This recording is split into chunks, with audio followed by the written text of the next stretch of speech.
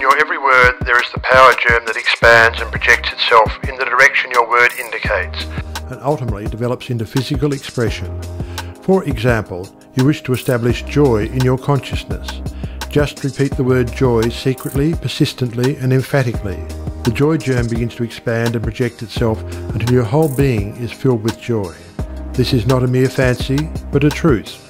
Once you experience this power, you will daily prove that these facts have not been fabricated to fit a theory, but the theory has been built up by careful observation of facts. Everyone knows that joy comes from within. Another may give you cause for joy, but no one can be joyous for you. Joy is a state of consciousness, and consciousness is purely, Troward says, mental.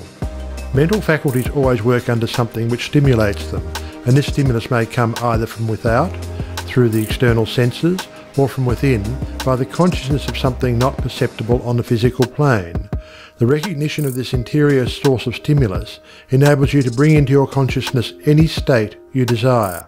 Once a thing seems normal to you, it is as surely yours through the law of growth and attraction as it is yours to know addition after you have the conscious use of figures. This method of repeating the word makes the word in all its limitless meaning yours, because words are the embodiment of thoughts, and thought is creative, neither good nor bad, simply creative. This is the reason why faith builds up and fear destroys. Only believe, and all things are possible unto you. It is faith that gives you dominion over every adverse circumstance or condition. It is your word of faith that sets you free, not faith in any specific thing or act, but simple faith in your best self in all ways.